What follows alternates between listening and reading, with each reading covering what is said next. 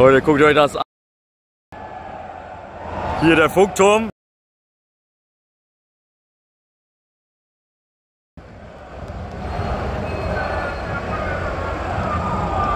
Alter, ey, das sind mindestens 10.000 Leute, mindestens.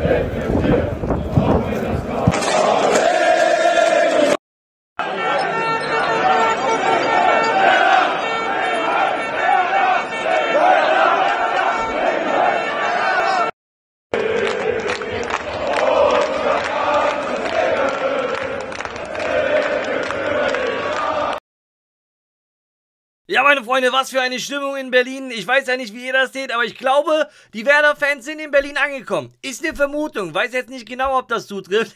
aber ihr könnt es ja mal in die Kommentare schreiben. Alles eingerichtet für ein geiles Spiel gegen die Berliner. Unfassbar viele Fans sind vor Ort. Ihr seht diese unfassbar geilen Bilder. Absolut Gänsehaut-Moment. Ich habe äh, direkt, ja, ich kann nur freudestrahlend hier sitzen, wenn ich diese ganzen Bilder und Videos die ganze Zeit zugeschickt bekomme und mir denke, Alter, wie geil ist das denn? Schreibt Schreibt gerne eure Feelings bei diesen Videos unten in die Kommentare und dann hoffentlich gleich auf drei Punkte.